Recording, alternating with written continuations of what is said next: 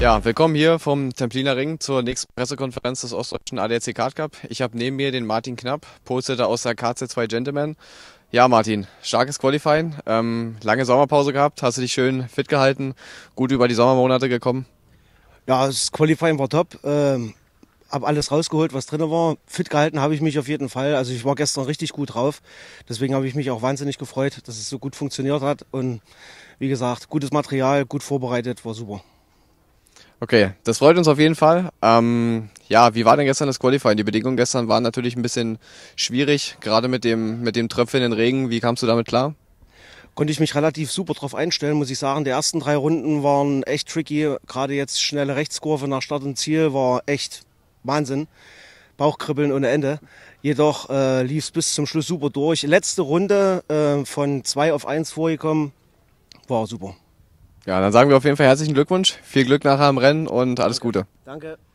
Ja, neben mir habe ich stehen den Gustav Schreiber aus der Klasse Zig Mini, auch unser Poster hier am Templiner Ring. Gustav, wir haben uns ja schon in Losa gesehen. Sprich, ich denke mal, du hattest ein gutes Qualifying. Beschreib mal, wie gestern die Bedingungen waren. Ich glaube, es war ja auch ein bisschen am Regnen, am Tröpfeln. Wie war dein Eindruck vom Qualifying? Ja, das war sehr schwierig. Äh, zuerst hat so bisschen getröpfelt, aber dann wurde es auch ein bisschen mehr. Äh, da muss, war halt wichtig, dass man zuerst eine gute Zeit fährt und danach die Zeiten, die waren dann nicht mehr so gut, weil dann der Regen mehr angefangen hat. Ja, und dann war halt die Pole da, da habe ich nochmal alles reingetan, was ich habe und war sehr gut das Qualifying. Ja, das freut uns so zu hören. Ich sag mal, die Bedingungen gestern waren ja wirklich über den Tag verteilt sehr, sehr schwierig. Viel Regen, trocken, Regen, trocken. Da musste man natürlich dann schauen, dass man im Qualifying schnell rausfährt.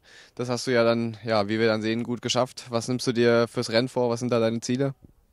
Ja, dass ich auf dem ersten bleibe, wird eigentlich schwierig, weil hier sind gute Fahrer mit dabei und ich will, den, ich will meinen Platz halten.